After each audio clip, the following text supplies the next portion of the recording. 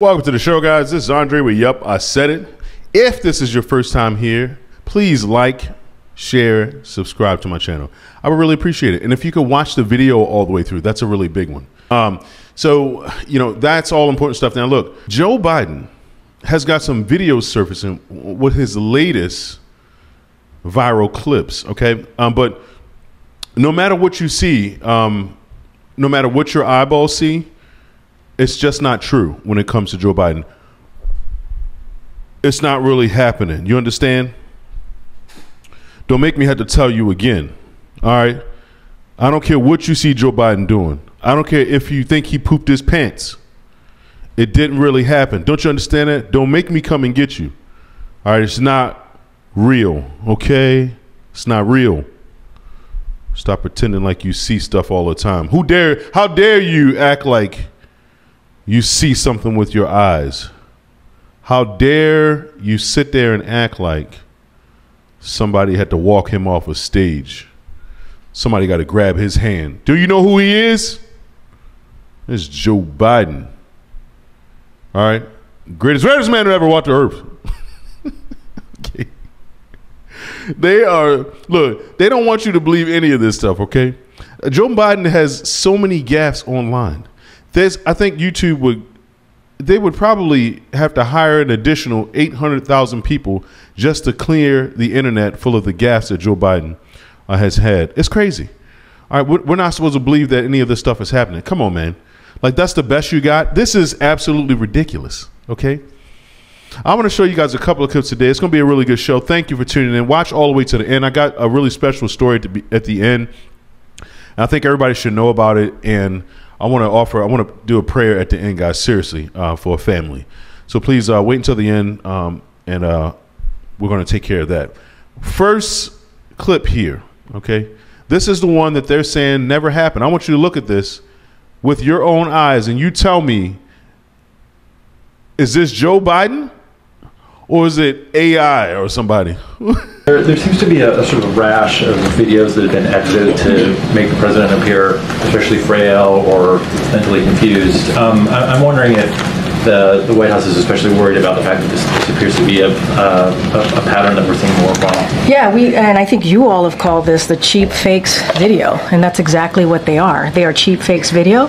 Uh, they are done in bad faith, uh, and uh, and some of your news organization uh, have uh, have been very clear, have stressed that these right wing, the right wing critics of the president have a credibility problem because of the fact checkers have repeatedly caught them pushing misinformation misinformation, disinformation, uh, and so we see this, and this is something coming from from your your part of the world, calling them cheap fakes and misinformation. Uh, and uh, I'll quote the Washington Post where they wrote uh, they wrote about this, and they said how Republican used misleading videos to attack Biden in a 24-hour period. And to their credit, we have a conservative Washington Examiner uh, did call them out as well, calling out the New York Post. Uh, ironically, several several, recent cheap fakes actually attack the president for thanking troops for thanking troops. That is what they're attacking the president for. Both in Normandy, this happened, and again in Italy. And uh, I think that it tells you everything that we need to know about how um, how desperate how desperate Republicans are here. Uh, and uh, instead of talking about the president's performance in office, and what I mean by that is his legislative wins, what he's been able to do for the American people across the country, we're seeing these deep fakes, uh, these manipulated videos. Lies, man, the lies. This woman is desperate. These people are absolutely desperate.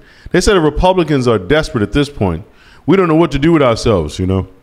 We're so desperate, we have to make up stuff about Joe Biden. Ain't nobody got to make up none of this, okay? Joe Biden's every day, all day, gaffe, gaffe, gaffe. Every day, all day, pooping itself. Every day, all day, saying something stupid or something that just makes no sense at all. But this particular clip, this one, this one where Barack Obama has to walk him off stage and grab his hands like a toddler, that one's not real. It's unbelievable. It's absolutely unbelievable. Uh, we're not buying it, okay? We're not buying what you're selling. We know Joe Biden is incompetent. We know that he's being controlled. We know literally Obama has to grab him by the hand and show him everything. Show him off the stage. it's sort of indicative of how he runs his campaign. Barack Obama's doing it. That's what my opinion is. It's absolutely crazy. So it's gotten so bad where the Democrat Party now, if, you've been paying attention, you knew that there's nobody else. Literally, they, they don't have anyone else that could actually step up, whether that be from Congress, whether that be from another state, whether it be uh, Gavin Newsom. None of these people could run for president. Kamala Harris uh, would get smoked like a salmon. Okay, she would never make it. She they, nobody likes Kamala Harris. I'm sorry, they just don't. Um, only person worse than Kamala Harris, in my opinion, is Joe Biden. All right, so he, he, doesn't stand a chance against Donald Trump, and everybody knows that. So it's becoming pretty apparent. And some of their people, like Cenk Uygur from the Young Turks, have been saying this for a long time. Even though he's crazy, uh, like a drunk roach in a beer bottle, he's been saying this for a very long time. Okay, but there ain't nobody been paying him no attention because he tried to run. He tried to run for president. He's not even from this country. Why would anybody pay attention to somebody like that? Okay. Goodness gracious, man! The things, the videos that these people have out, and they don't. I don't think they really hear themselves when they talk. But sometimes they actually make a lot of damn sense, but nobody's listening on the left. You hear me? but when you think he's only three years younger than Biden, my God, I mean, the difference between the two of them. And as I thought, uh, Bill Ackman, the very good point he made, you know, Warren Buffett's in his 90s. And he doesn't sound anything like the way Joe Biden does. It's not about his age; it's about his yeah. mental acuity. And I just think I tell you but, when I tell you when the chickens come home to roost for everybody trying to defend this or trying to make some equivalence with Trump. June the twenty seventh, these two guys are going to get on a stage in a live television debate that will break all records, I think, for ratings probably around the world. And you know what's going to happen over 90 minutes, however long it is?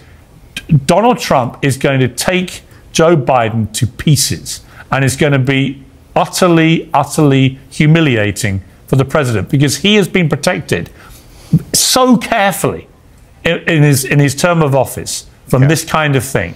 And when he gets exposed, yeah. honestly, Cenk, I think it's going to be utterly humiliating, and Trump will destroy yeah, it. Well, well, Piers, there's a reason why the debate is historically early. The debates are never before the convention.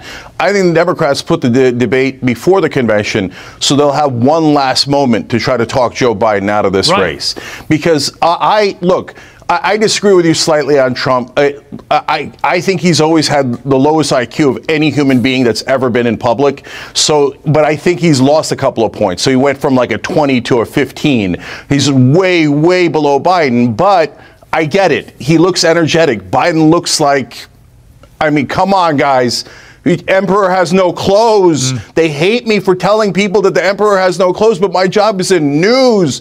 We all can see how incredibly old he is. So my point is, for God's sake, pull him. If you don't pull him, we're going to lose to Trump. Why do you want to lose to Trump? Why do you want to give up 10 points? Hate me all you want. And every Democrat says it's my fault. It's people, oh no, you shouldn't tell people reality. We, they already see it. You've got to pull them if you want to beat Trump. If you don't want to pull Joe Biden, you're saying, I don't mind losing to Trump. I don't mind losing democracy. All the things that I said about Trump, I don't actually mean it. I don't think it's a big deal if he wins. That's why I'm running this guy who cannot move or speak. It's absolute madness. Yeah.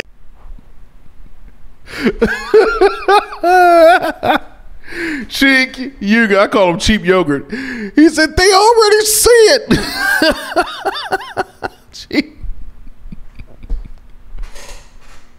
Yes, we already see it, Cheek. Tell him you better you better inform your base, okay? Then, yeah, the emperor has no clothes, whatever that means. it means that Joe Biden is a skeleton or something. I don't know. Joe Biden is. This is crazy. I can't believe we're actually here in the United States of America, and people are still having a hard time trying to determine who they want to vote for, Biden or Trump, and they tell you you ain't black.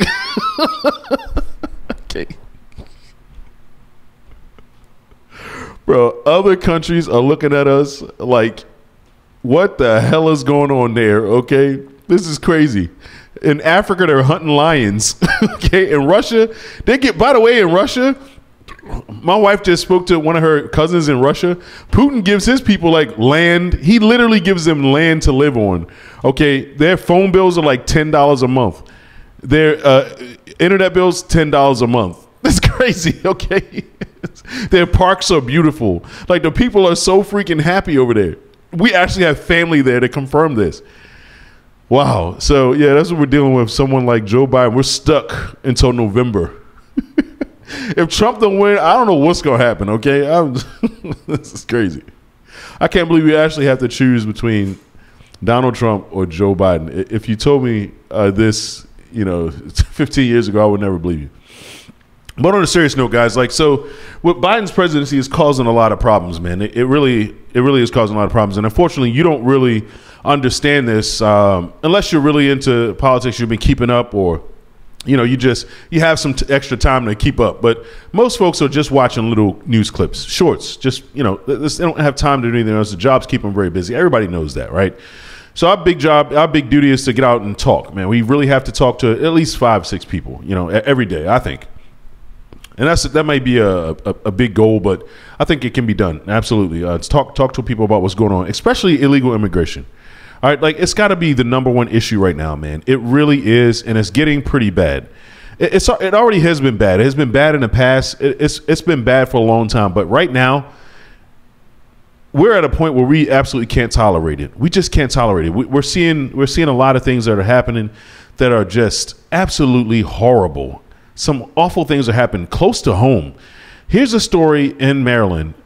Lord rest this young lady's soul, who was just going out for a jog when a person who was here illegally took her life, man.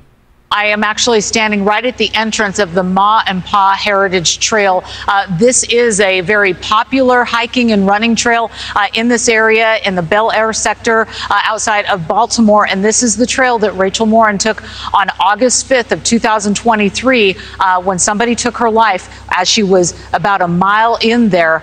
Um, and as we've been talking about the arrest of the suspect on late Friday night, 23 year old Victor Martinez Hernandez, uh, who came across the border illegally according to investigators, has been charged. He was he was found in Tulsa, Oklahoma, uh, as we've been reporting, and now the battle has been on of who gets him first because he is accused of a murder in El Salvador uh, in early of last year. He is accused of a home invasion and attacking a nine-year-old little girl and her mother in Los Angeles uh, at the beginning of last year. Then there's this big gap of time where we don't know where he was or what he was doing until August of last year, where he's now accused in the brutal rape and murder of Rachel Morin here along this hiking trail. We have just learned from local authorities, Nicole, that he has waived his extradition. He was arrested in Tulsa, Oklahoma. Everybody's been wondering who he's going to go to first, and we've just learned that he's waived that extradition. That means that within the next 10, possibly more days, he could be coming here and he will be facing charges in the state. And that is exactly where people want him here that are connected to this case. That is exactly where the loved ones of Rachel Morin want him to be held accountable first. Before he is held on anything else, they want him to answer to those charges. Earlier today, I have been speaking with the father of Rachel Morin's oldest daughter. His name is Matt McMahon. Here's what he told me about the suspect. He's just a horrible person that needs to never set foot into a free world again. He needs to be behind bars his whole life. And I want him to live a very long life and hate every single second of that long life.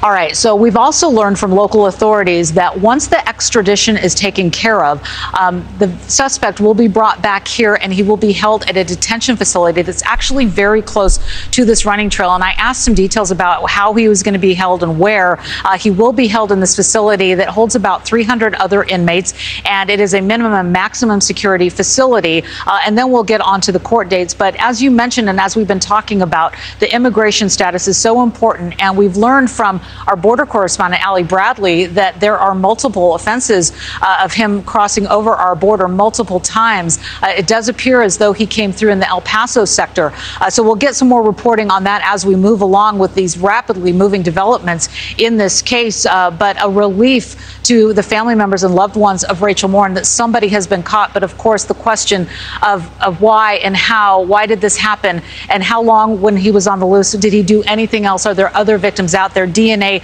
a very critical part of this investigation uh, and a hat tip to everyone involved because we know that there was a lot of legwork that went into this. A lot of uh, multi agencies worked together to bring the suspect into custody in Tulsa, Oklahoma. So now we wait. Nicole. Such a very sad story. It really is a very, very sad story. That's right. That's not uh, too far away from where I live. You know, I'm from Maryland.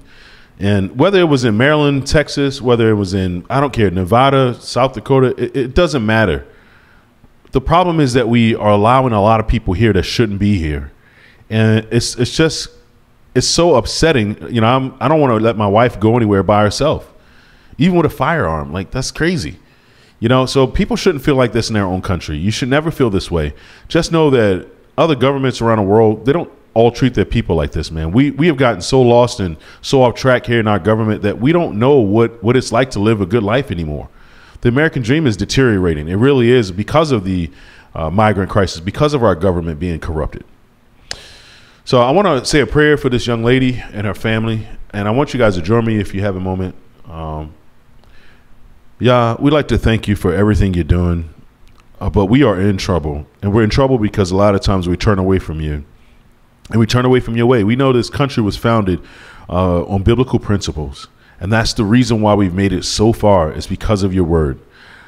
Help us to get back to you and become closer to you, and that we would realize that you are in charge and that you love us, and that you would always take care of us as long as we stay close to you.